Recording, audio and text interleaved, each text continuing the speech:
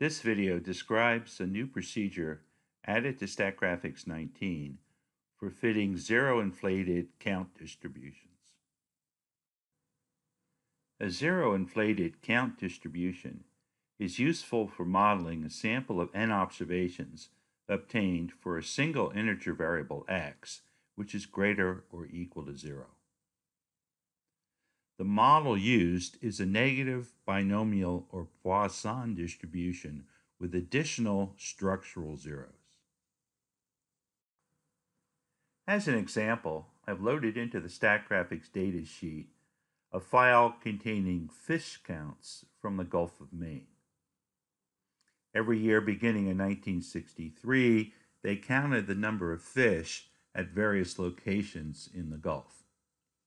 I'm particularly interested in trying to model the counts from the Bay of Fundy. To get an initial look at the data, I'll go to Plot on the top menu and select Histogram.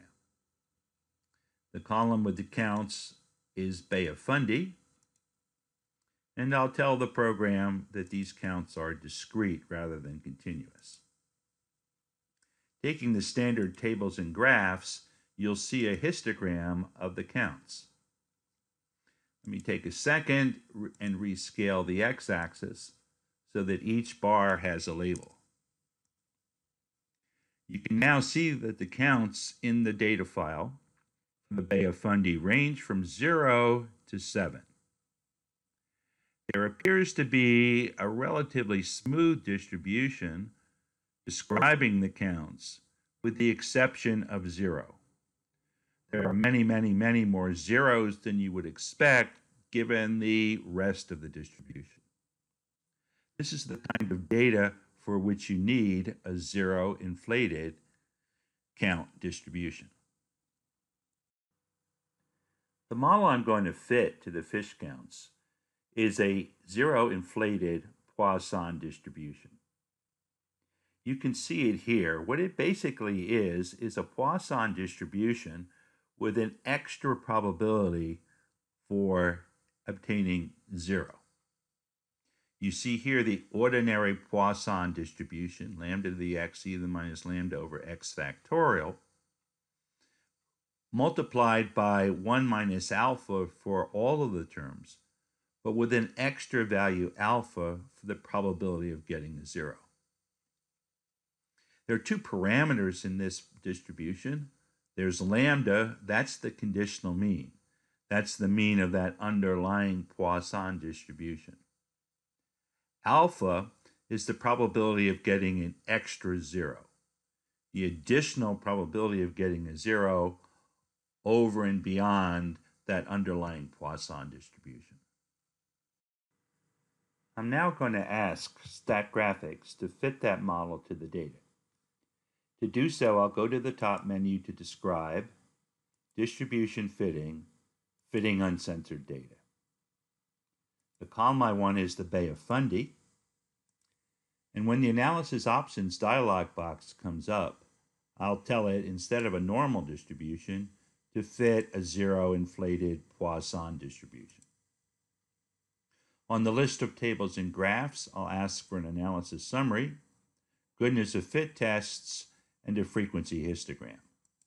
The density trace I'll turn off.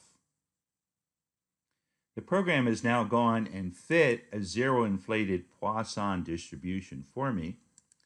And again, as before, I'll think I'll take a second and change the scaling so the graph looks a little nicer. You can see that the Poisson distribution, the underlying Poisson distribution, provides a pretty good model for the number of times that counts of 1 to 8 were observed. There's an additional probability, however, for observing a zero because there are many more zeros than one would expect from that underlying distribution. You can see the estimated parameters back here. The conditional mean, that's the mean of the underlying Poisson distribution, is very close to 3. There's an additional probability for obtaining a 0, however, of slightly more than 0.5. Now we can test whether or not this is an adequate distribution by going down here to the goodness of fit tests pane. The first thing I'll need to do is go to pane options and tell it though to use a chi-square test instead of a Kolmogorov-Smirnov test. The KS test doesn't work very well on discrete data. You'll now see the result of a chi-square test.